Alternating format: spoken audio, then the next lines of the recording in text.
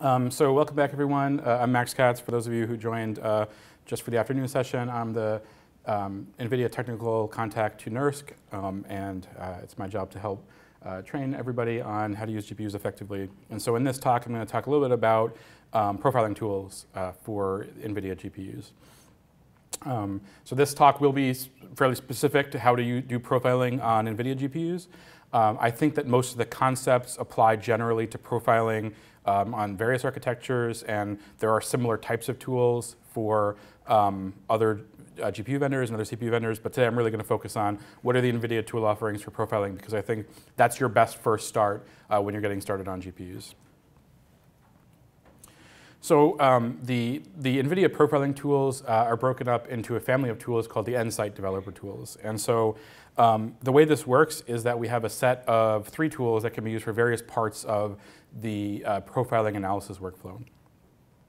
So whenever you first start analyzing the performance of a code, the most important question is where is the time being spent, right? You want to be able to, as a function of wall time in your application, uh, ascertain how much is in each part of the program, right? That's the most important thing.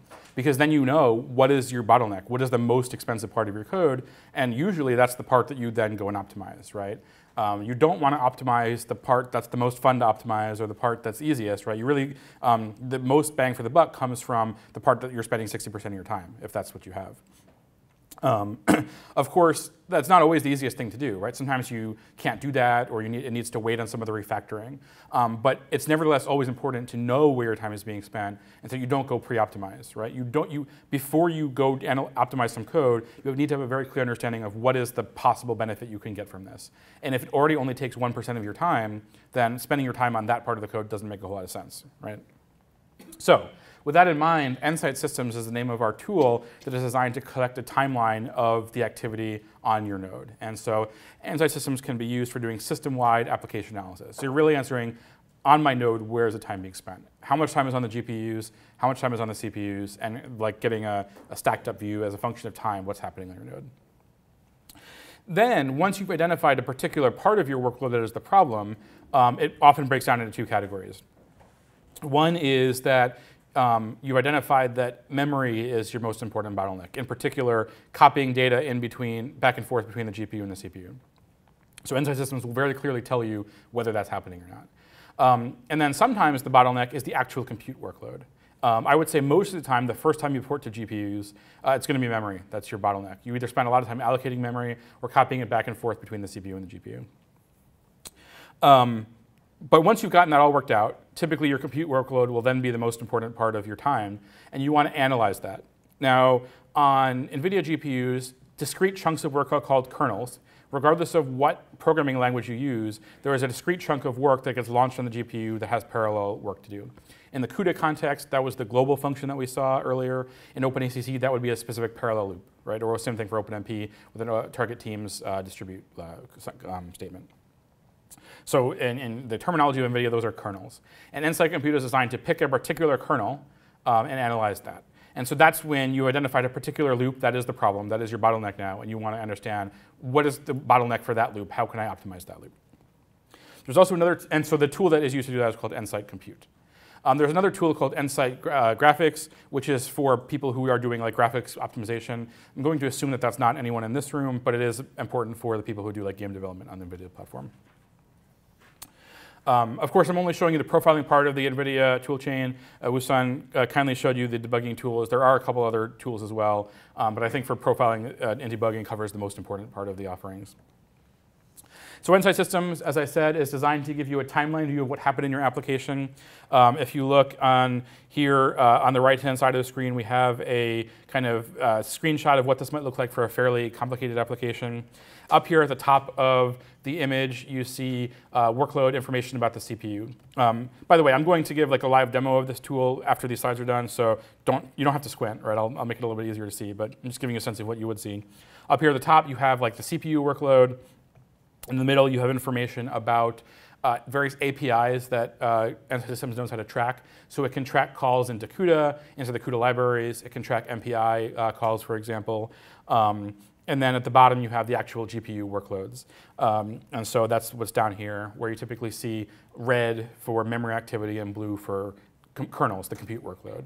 And so that helps you distinguish at a kind of at a glance where's my time being spent? Is it in is it in memory? Is it in compute? Or am I not even running on the GPU? Which happens a lot more than you'd think, especially in the beginning. Um, Systems works in a, in a separated host and target infrastructure where the target mode collects data on the remote system that you're running on, and then the host is used to actually visualize that data. So you can run it in a command line only mode where basically you just collect the data and then get like a standard out printout of what happened. But the more fun thing to do is collect a report on the remote system and then visualize it in the graphical interface. And that's what I'm going to, I'm going to show you how, you both, how to do both, but the second one is, is gives you a much richer view. Uh, you get information like this that helps you see at a glance what's going on in your application. Um, the, uh, with some exceptions, uh, both versions are supported on Linux, Windows, and Mac. Um, the exceptions being on Mac, uh, there's only like a viewer version of this because um, you're not going to be running on your Mac. Um, and on Linux Power 9, which is what is running on Summit, for example, we only have the collection mode. So you'd have to like you do have to copy it back to your local system and then install Nsight Systems on your own and, and load it up. Nsight Compute is the other half of this workflow, as I described. This is where you would um, go, once you identify that a particular kernel is your bottleneck now, you're going to jump into this tool, and it's going to do some analysis for you on what's going on. So under the hood, what it's doing is it's collecting hardware performance counters on the GPU. It runs your application, it collects these counters, it prints out a report, um, and then you can load that report into your user interface, and it'll tell you things like, am I memory bandwidth bound, am I compute performance bound, or something else? And then hopefully you can use that to determine where should I go next in my optimization process. Um, so for using Nsight systems, um, this is the command line interface that you would use. nsys is the name of the binary. If you do module load CUDA on Cori, for example, this will be in the path, so you can just use it. Um, nsys profile says collect, run this application and collect a profile. In this case, I've, it's a generic name, myapp.exe. And then if you add the dash dash stats equals true flag, uh, what that does is it says collect a report and also at the end post-process it and give me a standard out view of like what happened. And I'll show you what that looks like in a little bit. But basically it gives you a summary of all the activity that happened. Um, it's not like a ASCII implementation of the timeline. It's just a, a, rolled up summary, like the average of what was of what each activity uh, cost. It will generate a file that has the extension qdrep. Um, that's just the uh, the file extension, so you know uh, which ones are Nsight Systems profiles. Um, and it is possible to use Nsight Systems for interactive profiling. Like if you have a GPU on your local laptop or workstation, you can use it that way. But in the HPC center context, usually you collect the profile remotely and then view it locally. Um, and then you might get a view that looks like this when you, when you zoom in, where you see like calls into the OS and, and kernel, calls into CUDA, and then call like the actual kernel. This is the, the bottom half of the screen is the, um, the actual GPU activity that shows you both kernels and compute operations. Um, if you zoom in even further, you can highlight over a particular kernel launch um, and then see information about it. So how long it took, what kind of resources it used on the GPU, that sort of thing. Um, so that's, that's basically the most detailed information you can get about that kernel. If you want any more detailed information, then you would need to jump into Nsight Compute, target that kernel, the name of that kernel, and then profile it. So that's the workflow. You would use this tool to highlight, find in your timeline a kernel that takes a long time, right, on your timeline, get the name of that kernel, and then profile it in Nsight uh, Compute. So for using Nsight Compute, and again, I'll demo this uh, in a moment, um, what you do, this is the name of the, um, the command line interface to Nsight Compute. It is NV Nsight CUCLI. It's a mouthful, I know. We're going to make it simpler. Um, but for now, that's the name. And again, this will be in your path if you module load CUDA. Um, if you just run nv nsight cucli.myapp slash ese, that will take a long time. And the reason it will take a long time is that it's going to profile every kernel in your application, which could be thousands or millions. Um, and unfortunately, because of the way NVIDIA GPUs are architected, and this might be true for every vendor, I'm not sure, we cannot collect an arbitrary amount of profiling information in one pass through your application. So the way we do this is we automatically rerun your kernels for you enough times in order to collect all that information. And that might be 50 times or 100 times. And so you can imagine that'll take a, long, much longer time than your application normally runs. And so um, it is important to specify which kernels you want to profile, or else you're just going to be waiting forever for this profile. So the dash k option says can accept a string, which can be the subset or the full match of your name, the kernel name. It says anything, any kernel name who includes my kernel in it will be profiled. So you want to tune that carefully. And you, there's further options you can do to even further limit the collection if it's taking a long time. Um, as with Nsight systems, you can use Nsight Compute to actually drive the application if you have like a local workstation. But again, most of I think you, if you're running it at NERSC, will be doing it in the collect it on the command line remotely and then visualize it locally uh, workflow. Um, by the way, I haven't. These are generic slides, not specific to NERSC. So if you were running on NERSC, you need to run srun-n1 and then then the thing, just so you, you know, because the GPUs aren't visible as we talked about from the from the allocated node by default. And this is what the interface looks like for Nsight Compute. Um, again, I'll show you this in a moment, but um, it, it's broken down into a set of sections, and each section is intended to give you a different level of analysis on different parts of the GPU workflow. So the top level section uh, is probably the most important one for you to always start with. It's called the speed of light section. The speed of light section is intended to tell you um, of the various theoretical bottlenecks on the hardware, how close are you getting to matching those theoretical bottlenecks, right? So um, we published that if you're using double precision floating point mul fused multiply adds, then the peak um, performance of uh, Volta GPU is something on the order of seven teraflops, right? So this would tell you if you had an application that was primarily doing that instruction, what percentage of that seven teraflops did my kernel actually get, right? So that gives you a sense of how much more optimization do I need to do before I hit a hard limit on the GPU beyond which I cannot get any faster and I should move on and, and work on another kernel. So this is intended to do that. Um, the speed of light, there, therefore, is the, the, the peak possible performance, and the percentage of that is how much did you achieve. Um, and it will do, it will, there are several different, now for memory it gets a little bit more complicated because there are different levels of memory hierarchy as we discussed. There's what's called global memory, which is basically your DRAM. That's the big chunk of memory the GPU has, 16 gigs. There's also levels of cache. And any one of those could be your bottleneck, right? The, the, if, if you're doing a streaming operation, like summing two long arrays together, that typically will be bottlenecked by how long it takes to go to DRAM because the size of the arrays will be much larger than the size of your cache. Um, but if you're doing something that can fit in cache, then you will primarily be bottlenecked by what is the bandwidth to the cache or latency to the cache. And so um, the, the, memory hierarchy has different levels, and so it shows you the, um, what percentage of each level you're at. So in this uh, screenshot example, um, it's telling you that, um, and the, the, the, nomenclature is a little bit unfortunate or hard, hard to parse for, for beginners, but basically it's telling you for L1 cache, L2 cache, and for the DRAM, what percentage of each of those did you get? And approximately speaking, your, your total limiter will be essentially the highest of those three, right? Because the, the, the highest number you get is the, is the bottleneck, right? If you could make that number faster, then that would become the thing that makes your, your kernel run faster. Okay, so uh, as a general rule, and this is getting more into the weeds perhaps, you'll need to build up some more experience with this, but as a general rule, a kernel that looks like this is not an efficient use of the GPU's resources. It's not getting near the 100% that you'd like to get um, for either compute, which is the upper bar graph, or memory, which is the lower bar graph. As a general rule, if you can get 60 to 70% of one of those, we typically say that you're bound by that system. Right? So if you're 60 or 70% of memory bandwidth, then you're, you're reasonably memory bandwidth bound. And at that point, uh, you need to focus on like better coalescing memory accesses or reducing the, the, reliance on memory or buying a more expensive GPU that has more memory bandwidth. Um, whereas the, if, if, you're compute bound, which is the upper row, um, then that means like you're limited by how fast, how many double precision instructions we can get through or something. And again, typically you want to be at 60 or 70% of that before you can conclude that now you're limited by how, how much math can we actually do. Compute bound is ideally where you want to be because the peak performance of the GPU is in the compute bound regime. Um, when Jack talked about roofline analysis earlier, that's what he was really getting at, that if you're memory bandwidth bound, you will never reach that peak performance of the GPU. So the more compute heavy you can make your kernel, the better. Of course, there's lots of algorithms that don't expose themselves that way at all, right? But as, a, as an ideal, that's where you want to be. Okay, before I jump into the demo, any questions about the profiling options? Yes? So uh, on the previous uh, slide, um, it, does it mean that the top row has to be um, larger, as large as possible compared to the bottom row? The question was, should I interpret this as saying that the top row should be as large as possible relative to the bottom row? I.e., should I have, should I try to be bottlenecked by compute rather than memory? And, and, my comment is that's the ideal world where you're bounded by compute. And if you are bounded by compute, often you will not be bound by memory because you're not going to be making that many accesses to memory because you have a lot of compute instructions to do.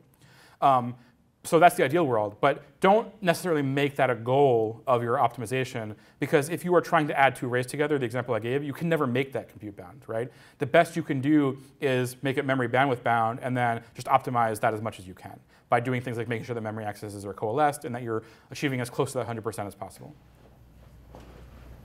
Anything else? Yes? If you were hitting CPU memory here, would it show that? Um, if you if you were trying to read data from CPU memory as in your kernel, then yes, that, that would be determined as a limiter. That's right.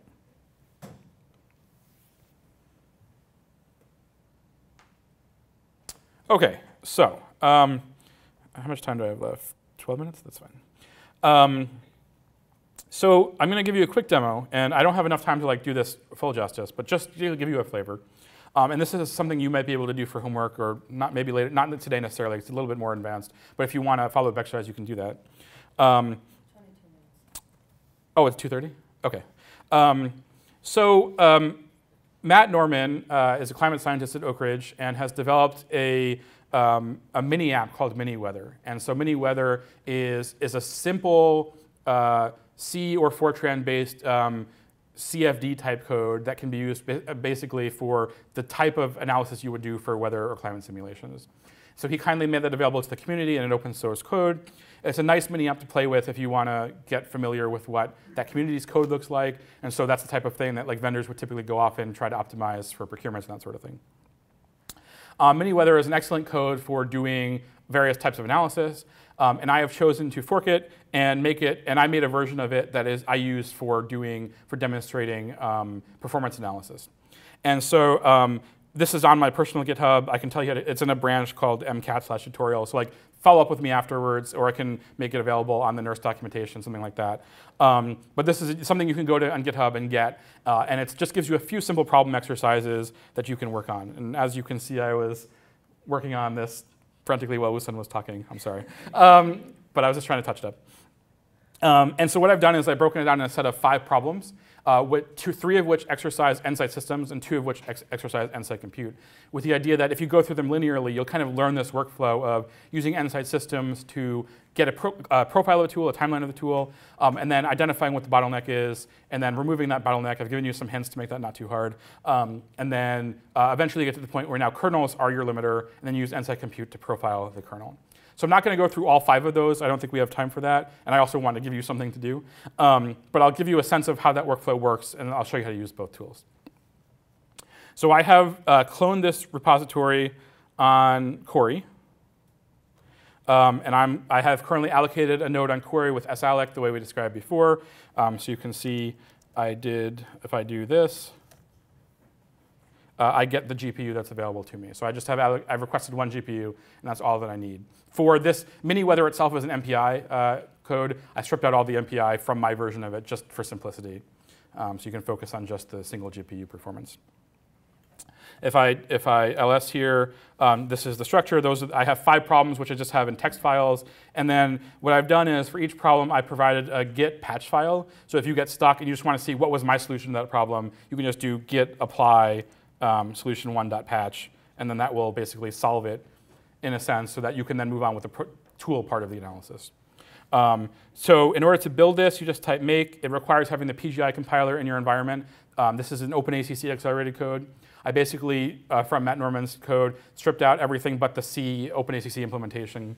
Um, and then, so that requires a PGI compiler. For, on Cori, you just do module load PGI. And again, ask me if you want if you're confused on any of these, just ask me afterward so I can run you through the workflow. Um, so now I have a mini weather um, executable, and I can just run it with srun.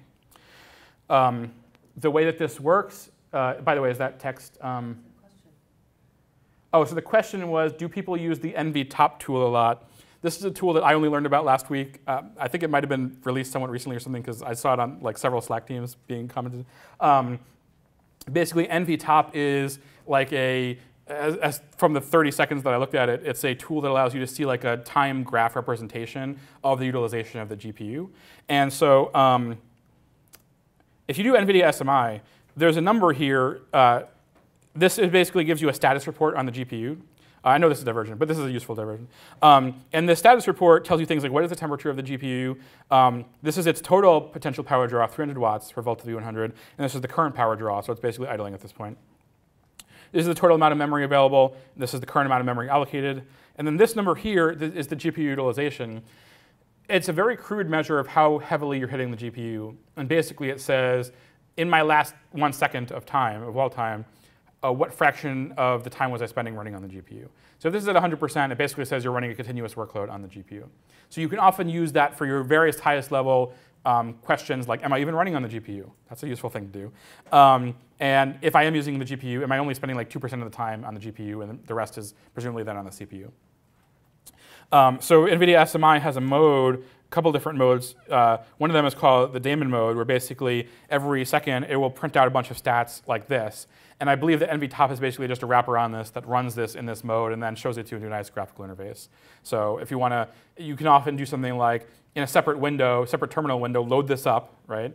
Or you could do, um, uh, like you can be more simple with Linux, right? You can just do like watch N1 NVIDIA SMI, and then just have it refresh every one second, um, and then that, and then in a second second terminal window, and then your first terminal window, run your application. That is the quickest way usually to see did I even run on the GPU. So if you're in terminals, you're accessing the same GPU node, Um, that I don't. I mean, yes. Uh, on most platforms, I don't know how this works on NERSC specifically, but on most platforms, you can do like salloc to get a node, and then just open a separate terminal and SSH directly to that node. So that's one thing you can do. I don't, I don't know if NERSC, like what, how, how that works in NERSC, but in general, that's a thing that can be done at HPC centers.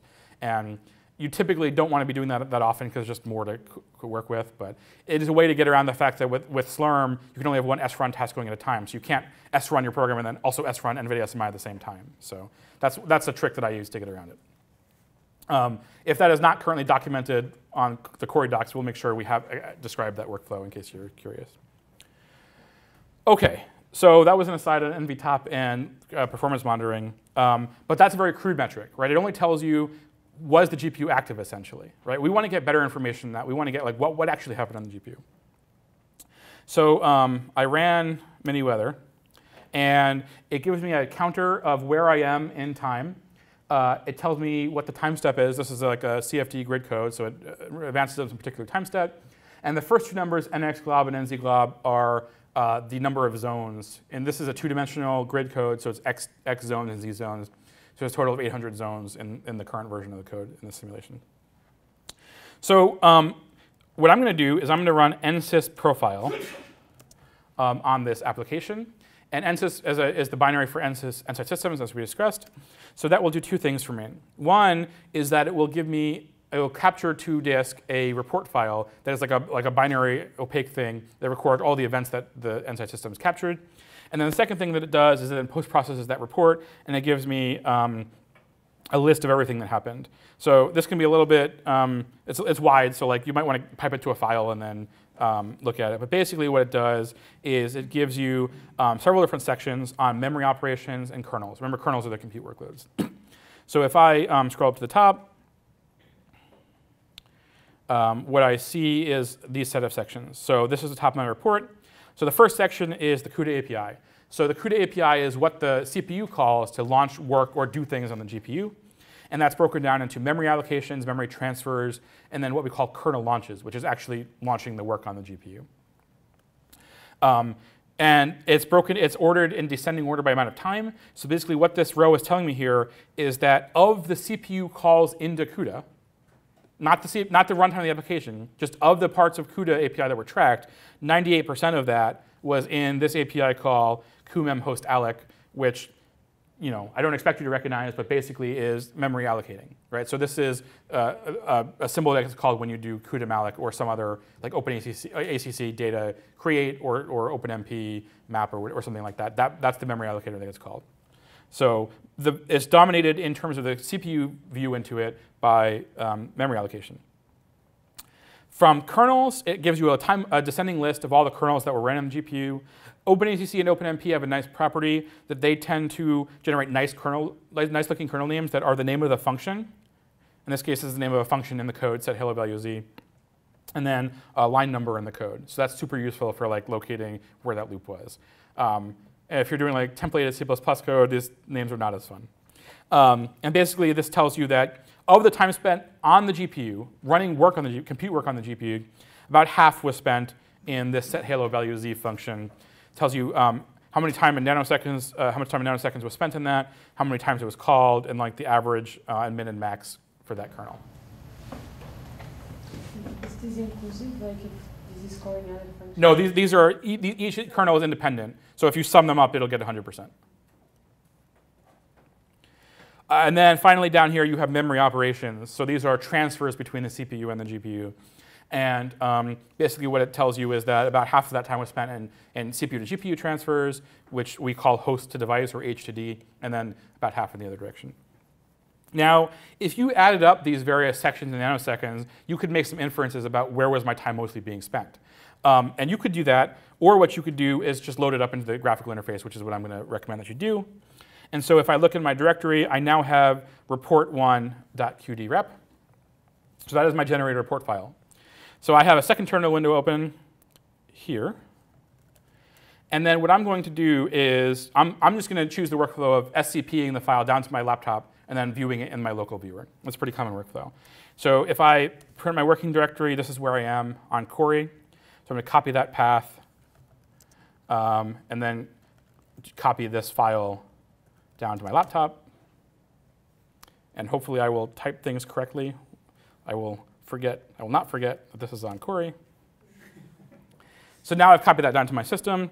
I already have Nsight Systems uh, opened up in my laptop. If you want to get this, it's a free download. You just Google Nsight Systems and you'll find the, the download link. Yes? So does uh, NSYS replace uh, NVProf or am I misunderstanding? So the question was, does Nsight Systems replace NVProf? Um, for those of you who have done GPU programming on NVIDIA before, um, there is a, an existing profiling tool called NVProf and a, and a paired graphical interface called NVIDIA Visual Profiler, NVVP. Um, and the answer is yes. Uh, that tool is now in what I would call maintenance mode. It is not supported for, essentially, we've stopped um, active feature development as of the current GPUs of Volta. Um, and then the next generation GPUs that will be on Perlmutter, uh, this will be the only supported profiling tool. So basically, that's why I'm showing you this tool. Um, the current profiling tool works on Cori GPU, NVProf. Um, it's not, you know, it works. There's no, there's no bugs that I know about. Um, you're welcome to use it. Um, but I'm, show, I'm intentionally showing you the, the tools that will be supported on Perlmutter. So I, I open up this report1.qdrep file, and I get a timeline view like the following. Um, it's broken down into two sections, as I said uh, earlier. The top part here um, is the CPU workload. So like this black bar here is a measure of load on the CPU. If it's, if it's the bar is at 100%, that basically means I'm hitting CPU threads heavily, whereas like here towards the beginning, I'm just start, starting to spin up my application. Um, the CUDA API is on this row. So this is telling you all the calls into CUDA. Um, there's a big chunk here for cuMem host alloc, so that kind of lines up with our um, thing we saw before.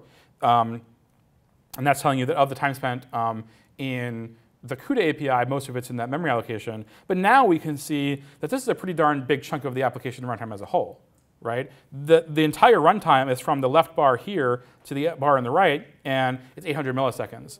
Um, so yeah, it'll come back up, I'm sure. Well, I'm not sure, but I hope. I don't know what I can do. I mean, I'm not connected to it. I'm just connected to the Zoom. OK. Sorry about that. For those on WebEx, we're just screen difficulties. or Zoom, sorry. Um, yeah.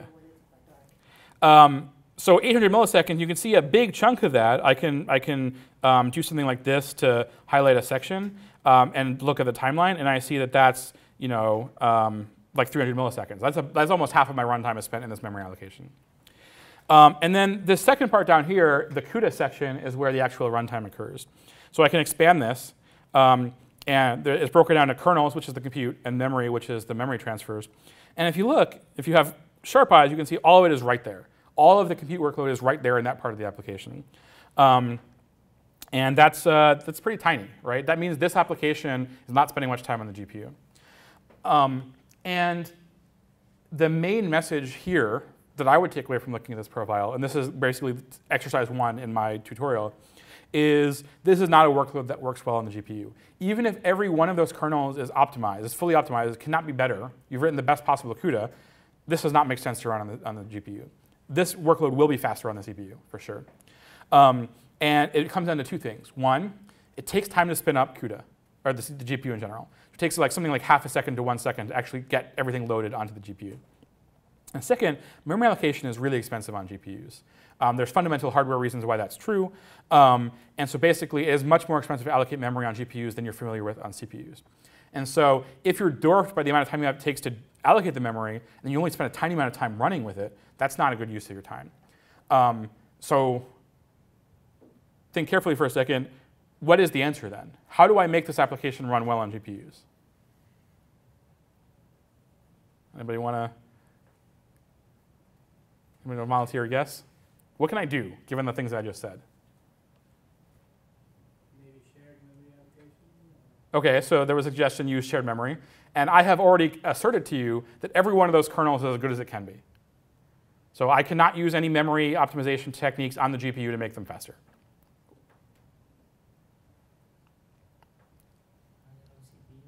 Run it on, okay, run it on the CPU, right. And that, that's the answer for this workload, right? This would be faster on the CPU. But the, trick, the trick answer to that question is make the problem bigger, right? This is my fundamental argument that you should not, cannot run small workloads on the GPU. In almost every part of science that I can think of, there is a way to make your, your problem more expensive by giving it more work and having it be higher fidelity, right? If it's a grid code, you give it more zones, so it's more work, but it's usually a higher resolution, higher fidelity thing, right? If you're doing molecular dynamics, right, you, you add more atoms, right? You know, there's all sorts of things you can typically do to add more work uh, to, at the cost of making it more computation expensive, but also higher accuracy, higher fidelity. And so that is what you do for GPUs. You do not run this problem. You do not run this version of the problem. You run a bigger version of that same problem. And you run that problem until it's big enough that now this, part, this little tiny chunk here is the entire runtime. Is it just making it bigger, or is it making it bigger by making the ratio of zones per GPU core?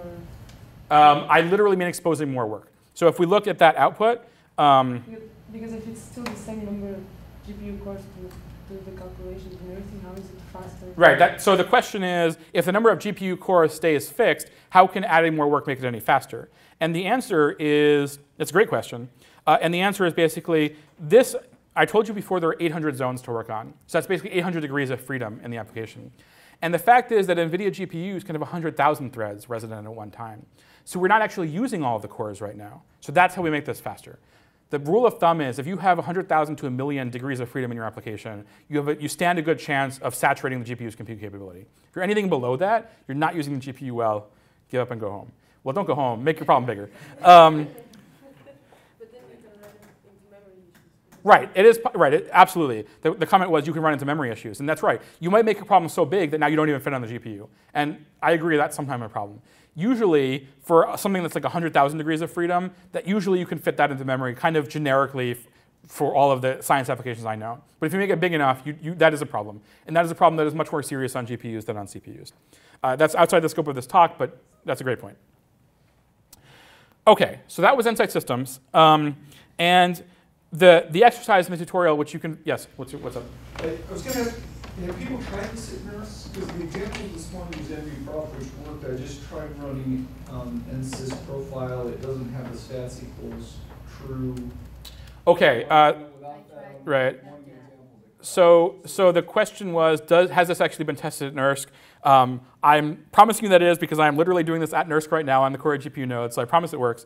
Um, that said, um, there is an issue where um, the stats equals true option was added in like a somewhat recent version of Nsight systems, and the CUDA module determines which version you get. So if I do module list, you see I have CUDA 10.2.89. If you have something else in your environment, like an older version of CUDA, and maybe that's what the docs recommend, then that's the issue. LRPRG and the LRVM loads the older CUDA. I think in the retrieve file, I said switch to the newer CUDA to use NSYS. Okay, gotcha. Yes, I think that is documented there. Yep. Um, so I recommend using the newest CUDA, except in cases where you can't because of compatibility issues. And then, and if you run into that case, use the other one to compile, but then module switch into this to do the use the profiler, and that generally works. Okay, um, so I have a couple minutes left. I just want to talk about Nsight Compute. So you you do my exercises, and now somehow um, you have made it such that the, the kernels are now the most important part of your application, right? Once you've gotten to that point, then you, you I permit you to then look at one of those kernels in Nsight Compute.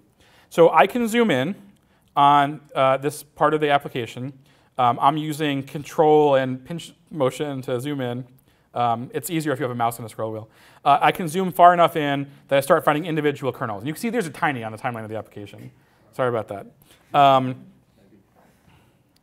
and um, yeah, might want to follow along on the WebEx, on the Zoom, sorry. Um, but I, I am highlighting over uh, a kernel, and it gives me information. And I, I highlight over one randomly, and I'm going to say that's the one that now takes the most time. And in this case, I happen to highlight over compute tendencies X. So let's pretend that compute tendencies X is the most important kernel that now that you've done your, your refactoring. That's annoying, isn't it? Um, so now what I'm going to do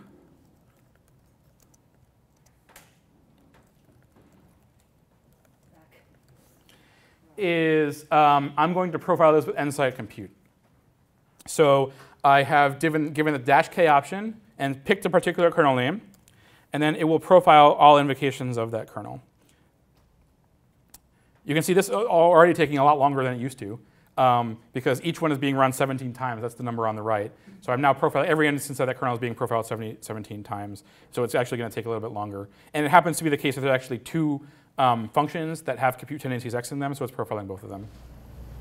Um, when it does, when it runs multiple times, uh, how the data, I mean, the initial data is saved somewhere and then reload. Yeah, we save the initial state and then load it back um, to ensure program remains valid. That's right. Um, if you abort in the middle, which I got tired and did, you'll get a standard out, like ASCII printout of a whole bunch of things, which basically are the same thing that the UI would give you if you loaded the report. So in order to make life simpler, and because I have one minute left, I'm going to intentionally profile only one kernel. So dash C1 means only profile one, one instance of that kernel. Um, and then what I'm going to do is um, store this in a file. So I'm going to say uh, mini weather. And so you now you see instead of giving me standard out to ASCII, I have now created a file. And it has this extension, which again is a mouthful, I'm sorry. Um, I'm going to copy that down. I'm going to go a couple minutes over. I hope nobody gets mad at me. Um, just a couple minutes.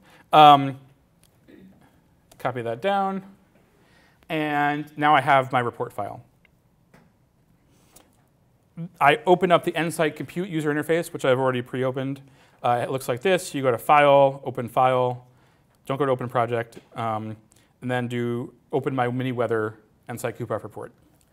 And so finally, this is the view that I gave you a screenshot of like half an hour ago. Um, and this gives me several sections that give me different levels of analysis. And I'm just going to stay on this one for the sake of time. This is the GPU speed of light section that I showed you.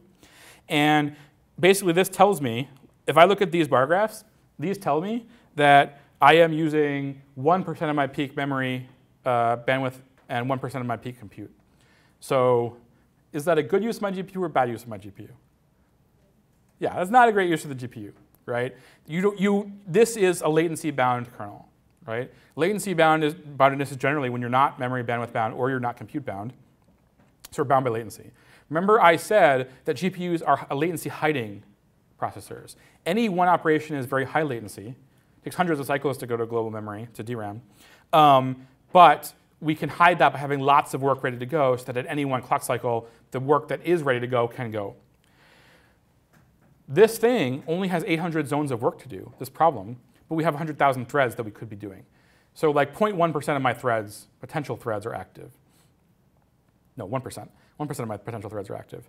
And so it kind of makes sense that I'm only getting something like 1% of the peak compute uh, or memory bandwidth, right? I cannot ever achieve the compute peak performance because that peak performance is relying on having enough threads going to hide latency to achieve that peak. And so when you see something like this, you know you're latency bound. In this particular case, the answer is add more work, right? So um, make the big grid bigger, right? That's the answer for this problem. But sometimes, that's, sometimes there are other limiters, and the tool will help you, I think, guide you through that process. So that's the very high level overview. I just wanted to let you know that these tools exist and that you should make them part of your workflow. Um, the most important thing to do when you start running on the GPU is profile, right? In fact, you should profile even before you get on the GPU. Use Nsight Systems to collect a profile of your application. Have that be the, the baseline so that then when you start putting things on the GPU, you see did it get faster or slower. And I'm going to warn you, first time it's going to get slower, right? Uh, be- because you allocated memory, it took too long, or um, you're doing too much memory transfer, right? So I'm, don't get bummed, right? That's a normal part of the process. Profile it, see what your bottleneck is, and then work to eliminate that by either exposing more parallelism or doing things like more effectively reusing memory, that sort of thing. Um, putting more work in a row so that memory doesn't have to transfer back and forth. So you'll learn these techniques as you go. I just want you to let you know these tools are, exist to help you do it.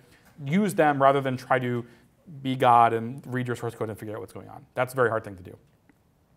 Any questions? Yes. Is the kernel what you have called the kernel? It's not the cuBLAS or whatever. The kernel name is what the compiler gave to it. And it happened to be that OpenACC and OpenMP give you nice looking names, Okay. and cuBLAS does not give you nice looking names. Right. Um, so that is a thing that I cannot get around. Um, I will say that there are there's a light at the end of the tunnel for that thing, uh, which we can discuss offline. But for now, it's basically whatever name the compiler generates, and you can, as long as you identify a substring of that, you can give it to dash k. Um, but it may be a pretty gnarly name. So Kokkos is famous for generating kernel names that are literally 2,000 characters long, and like breaking some tools like Intel uh, for, for, for having done that in the past. So that may not be fun, and I, I apologize for that, but we're working on that. I think you had a message. Does Nsight, can somebody read out the question? Does Nsight profiling tool work with PyCUDA Numba? Right, so the question was, does Nsight, do the Nsight tools work on other uh, platforms like Python, for example, CUDA Python? The answer is yes. The nice thing about the NVIDIA platform is that all of the programming models go through the same underlying level of CUDA. And so everything generates CUDA kernels when it does work, right? A CUDA kernel can be generated from CUDA C or it can be generated from CUDA Python or Numba or CuPy.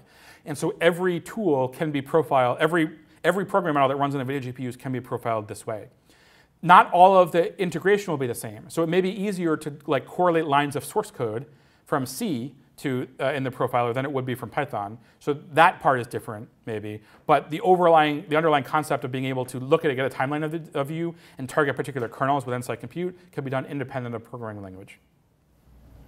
Yes. Um, if we want to run the visualization on our laptop, do we have to join the NVIDIA developer program, or is there a? Yes, but that is a free program. It's it's just uh, somebody in our marketing team decided that they wanted to collect that information. So you do have to join the developer program to do it. The other thing is we have Nsight systems installed on Cori. So if you had VNC or X forwarding, you could go that path by just loading the user interface remotely. Um, if you're very close to the system, that can be okay, can be tolerable. If you're doing it, if you're halfway across the country, the X forwarding is pretty rough for these applications. And I highly recommend just biting the bullet, SCPing it down to your, your system, download, registering to the developer program, downloading that tool, and then running it. And that's free download, or do we need? It's a free download. You just, just need to create an account. That's right. All right, thanks everyone.